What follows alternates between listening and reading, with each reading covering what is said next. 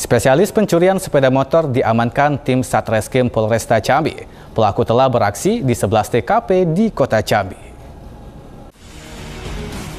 Satuan Reserse Kriminal Polresta Jambi mengamankan dua pelaku spesialis pencurian sepeda motor di kota Jambi. Ia adalah Ramadoni, warga RT 42 Kelurahan Mayang Mangurai, Kecamatan Alam Barajo, yang diamankan bersama penadah yang merupakan rekannya Beni Putra, warga Mandi Angin, Kabupaten Sarolangun. Dijelaskan Wakapolresta Jambi AKBP Ruli Andi, pelaku telah beraksi di 11 TKP. Sebanyak 5 sepeda motor curian berhasil diamankan beserta satu unit mobil pickup yang dicuri di salah satu rumah produksi di kawasan Broni, Danau Sipin.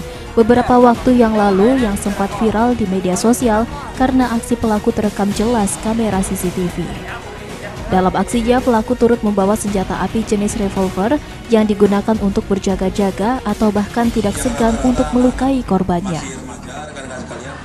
Identitas pelaku yang sudah kami amankan ada dua terkait curanmor ini, yaitu yang pertama RD, yang kedua BP.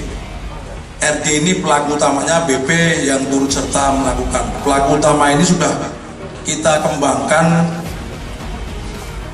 e, melalui penyelidikan sehingga mampu ditemukan perkara atau kasus yang lain yang dilakukan oleh para tersangka itu di 11 TKP.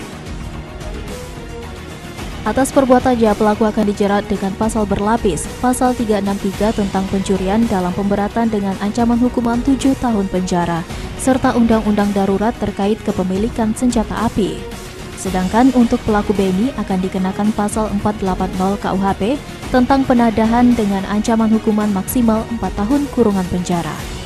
Di Basanjaya, JEK TV melaporkan.